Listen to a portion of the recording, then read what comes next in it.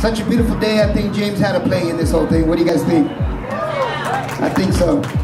Remember that some of the proceeds are going to go directly to suicide awareness and the Spacelion for Life Fund. I want to thank you guys again so much for coming out here and let's just have some fun, okay?